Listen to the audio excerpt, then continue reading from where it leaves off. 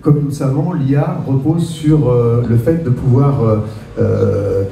décrire avec des mots, d'abord ce qu'on appelle des prompts, un certain nombre de choses qu'on a envie de créer. Et là, je suis parti, par exemple, pour cette image, sur l'histoire, sur l'idée euh, qu'il euh, y a eu une révolution technologique à l'époque de Louis XIV au moment de la construction du château de Versailles, avec euh, les premiers automates, les premiers, les, ancêtres des robots, les premières machines volantes de Montgolfier.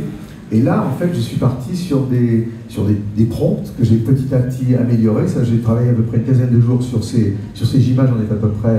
200. Là, on va en voir une, quinzaine rapidement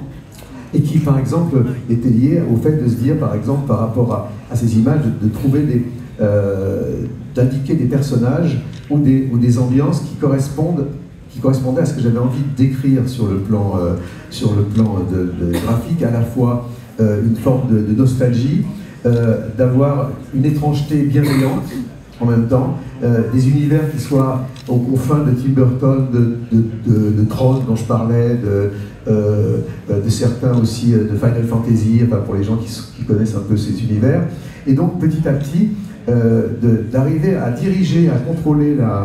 l'algorithme d'intelligence artificielle pour en faire ce que j'avais envie de faire. Là, on voit par exemple une sorte de galerie fantasmée, de galerie un peu liée à la science-fiction, un peu à la Mébius. Et je me suis forcé à ne pas donner de nom. Par exemple, quand je parle de Tim Burton, Tron ou autre, je n'ai jamais mis le nom des auteurs. Euh, mais, plutôt d'écrire des ambiances que j'avais envie euh, de décrire. Et, je pense que c'est un, un, bon exemple pour montrer qu'on peut arriver à une, forme de poésie qui n'est pas du tout euh, liée nécessairement au, numérique seulement, mais qui est liée aussi à les, les, fantasmes ou les, idées moi, que j'avais envie d'exprimer à travers, à, travers, à travers ce projet. Ce qui est particulièrement